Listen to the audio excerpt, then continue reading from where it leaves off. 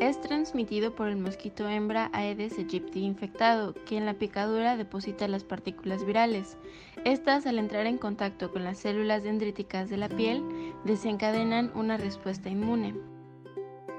El primer blanco de este virus son las células dendríticas de la piel.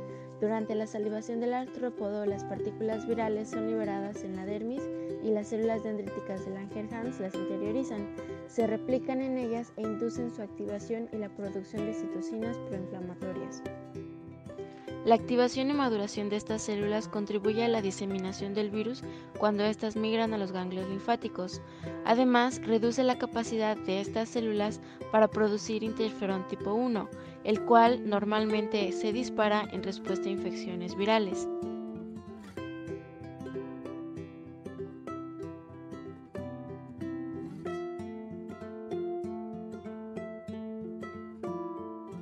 Las vías del complemento alternativa y lectina son importantes mecanismos efectores a nivel de la respuesta inmune innata.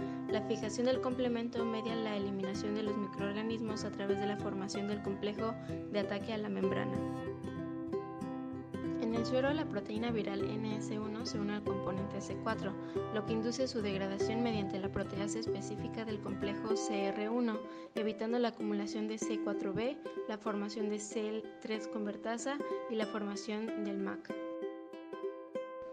En pacientes con dengue se reporta un deceso importante en los niveles plasmáticos de C3 y C4. Sin embargo, en las células endoteliales infectadas por el virus aumenta la producción del factor B. La lectina de unión amanosa puede neutralizar la infección por el virus, un efecto que no requiere fijación del complemento. El gen que codifica para esta proteína exhibe un polimorfismo que afecta sus niveles y actividades en los humanos, por lo que existen diferentes susceptibilidades a las infecciones como el dengue.